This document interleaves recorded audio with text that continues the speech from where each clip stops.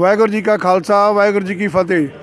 ਮੈਂ retired captain Balwinder Singh ਪਿੰਡ ਵੱਲਾ, ਜ਼ਿਲ੍ਹਾ ਅੰਮ੍ਰਿਤਸਰ ਤੋਂ ਹਾਂ। ਅੱਜ ਇੱਥੇ ਆਏ ਹਾਂ ਤੇ ਗੱਲਾਂ ਬਾਤਾਂ ਕਾਫੀ ਦੇਰ ਤੋਂ ਸੁਣ ਰਹੇ ਸਨ ਬੁੱਤਾਂ ਦੇ ਵਿਚਾਰਾਂ ਬਾਰੇ।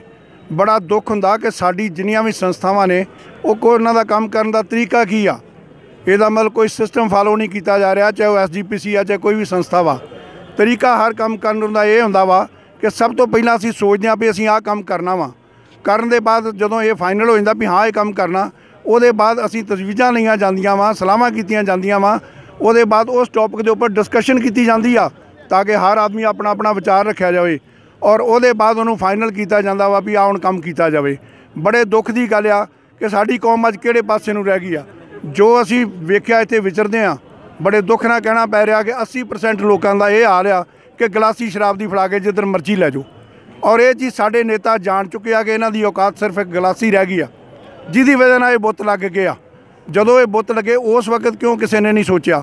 ਉਸ ਵਕਤ ਜਿਹੜੀ ਕਮੇਟੀ ਸੀ, ਉਹਨਾਂ ਨੇ ਇਸ ਟੌਪਿਕ ਤੇ ਡਿਸਕਸ਼ਨ ਕਿਉਂ ਨਹੀਂ ਕੀਤਾ? ਅਗਰ ਇਹ ਸਭ ਕੁਝ ਕੀਤਾ ਹੁੰਦਾ, ਅੱਜ ਸਾਨੂੰ ਇਹ ਨੌਬਤ ਨਾ ਆਉਣੀ ਪੈਂਦੀ। ਇਹੋ ਹਾਲ ਆ ਕਿ ਸਾਡੇ ਖਾਲਸਿਆਂ ਦੀ ਆਦਤ ਹੈਗੀ ਕਿ ਅਸੀਂ ਦੇਰ ਬਾਅਦ ਸੋਚਦੇ ਆ ਸਨ 47 ਵੇਲੇ ਵੀ ਸਾਡਾ ਰਾਜ ਸੀ ਪੰਜਾਬ ਦੇ ਵਿੱਚ, ਉਸ ਵਕਤ ਸਾਡੇ ਲੀਡਰਾਂ ਨੇ ਪੰਜਾਬ ਦੀ ਡਿਮਾਂਡ ਕਿਉਂ ਨਹੀਂ ਕੀਤੀ, ਜਿਹਦਾ ਅੱਜ ਸਾਰਿਆਂ ਨੂੰ ਨਤੀਜਾ ਭੁਗਤਣਾ ਪੈ ਰਿਹਾ।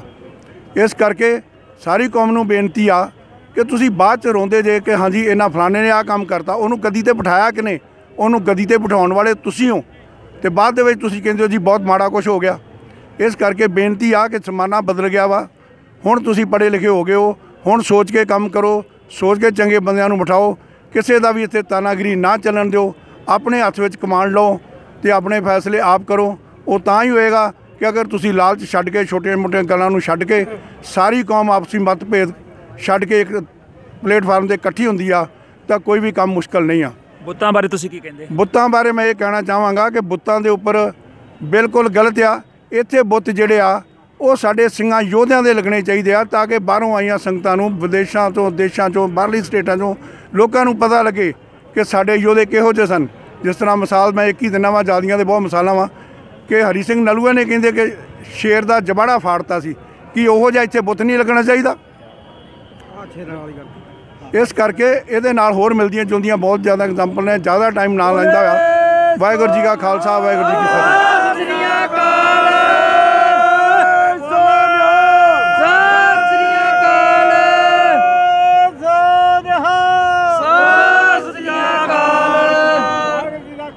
ਜਿਹੜਾ ਤੁਸੀਂ ਹੁਣ ਇੱਥੇ ਜ਼ਿੰਮੇਵਾਰ ਕਿਹਨਾਂ ਨੂੰ ਠਾਉਂਦੇ ਜੇ? ਪ੍ਰਸ਼ਾਸਨ ਨੂੰ ਕਿਹਨਾਂ ਨੂੰ ਠਾਉਂਦੇ ਜ਼ਿੰਮੇਵਾਰ ਇਹਦੇ ਵਿੱਚ ਤੇ ਅਨਪੜ੍ਹ ਵੀ ਬੰਦਾ ਦੱਸ ਦੂਗਾ ਕਿ ਸ਼੍ਰੋਮਣੀ ਕਮੇਟੀ ਜ਼ਿੰਮੇਵਾਰ ਆ। ਕਿਉਂਕਿ ਇਹਨਾਂ ਸਾਰੀਆਂ ਗੱਲਾਂ ਦੀ ਜ਼ਿੰਮੇਵਾਰੀ ਉਹਨਾਂ ਦੀ ਆ। ਹੁਣ ਕੀ ਤੁਸੀਂ ਸ਼੍ਰੋਮਣੀ ਕਮੇਟੀ ਨੂੰ ਕਹਿਣਾ ਚਾਹੋਗੇ? ਮੈਂ ਇਹ ਕਹਿਣਾ ਚਾਹਾਂਗਾ ਕਿ ਜੋ ਵੀ ਗਲਤੀ ਹੋ ਗਈ ਆ ਗਲਤੀ ਨੂੰ ਸੁਧਾਰੋ ਤੇ ਅੱਗੇ ਵਾਸਤੇ ਇਹੋ ਜਿਹੀਆਂ ਗਲਤੀਆਂ ਬਿਲਕੁਲ ਨਾ ਕਰੋ। ਬੋਤੇ ਤੋਂ ਹਟਾਉਣੇ ਚਾਹੀਦੇ ਆ। ਬੋਤੇ ਹਟਾਉਣੇ ਬੁੱਤ ਬਿਲਕੁਲ ਹਟਾਉਣੇ ਚਾਹੀਦੇ ਆ। ਇਹ ਨੱਚਣਾ ਸਾਡੇ ਸਿੰਘਾਂ ਨੇ ਨਹੀਂ ਸਿਖਾਇਆ ਗਿਆ। ਸਾਡੇ ਗੁਰੂ ਸਾਹਿਬਾਂ ਨੇ ਸਾਨੂੰ ਨੱਚਣਾ ਨਹੀਂ ਸਿਖਾਇਆ ਗਿਆ। ਜਦੋਂ ਕੋਈ ਕੌਮ ਨੱਚਣ ਵੱਲ ਤੁਰ ਪੈਂਦੀ ਆ ਤੇ ਉਹਦਾ ਅਸਰ ਕੀ ਹੁੰਦਾ ਉਹ ਤੁਸੀਂ ਸਾਰੇ ਜਾਣਦੇ ਹੋ। ਕੌਮ ਨੂੰ ਕੀ ਸੰਦੇਸ਼ ਦਿਓਗੇ? ਕੌਮ ਨੂੰ ਮੈਂ ਇਹ ਸੰਦੇਸ਼ ਦੇਣਾ ਚਾਹੁੰਦਾ ਵਾਂ ਕਿ ਤੁਸੀਂ ਇਹਨਾਂ ਗੱਲਾਂ ਨੂੰ ਸਮਝੋ ਵਿਚਾਰੋ। ਕਿ ਸਾਨੂੰ ਕੀ ਕਰਨਾ ਚਾਹੀਦਾ ਕਿਹੜੇ ਪਾਸੇ ਨੂੰ ਤੁਰਨਾ ਚਾਹੀਦਾ ਵਾ?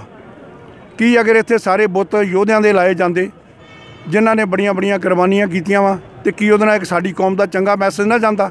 ਉਹ ਚੰਗਾ ਮੈਸੇਜ ਜਾਂਦਾ ਜਾਂ ਆ ਡਾਂਸ ਕਰਨ ਦਾ ਚੰਗਾ ਮੈਸੇਜ ਜਾਂਦਾ? ਤੁਸੀਂ ਸਮਝਦੇ ਕਿ ਸਿੱਖ ਕੌਮ ਦੇ ਵਿੱਚ ਏਕਾ ਹੋ ਜਾਊਗਾ? ਕਿੰਨੇ ਜਥੇਬੰਦੀਆਂ ਇੱਕ ਹੋਣਗੀਆਂ? ਵੇਖੋ ਜੋ ਵਕਤ ਪੈਂਦਾ ਨਾ ਤੇ ਸਾਰੇ ਇੱਕ ਹੋ ਜਾਂਦੇ ਆ। ਪੰਜ ਭਰਾ ਵੀ ਲੜੇ ਹੁੰਦੇ ਆ ਜਦੋਂ ਉਹਨਾਂ ਦੇ ਬਾਹਰੋਂ ਕੋਈ ਅਟੈਕ ਕਰਦਾ ਤੇ ਉਹ ਸਾਰੇ ਇਕੱਠੇ ਹੋ ਜਾਂਦੇ ਆ।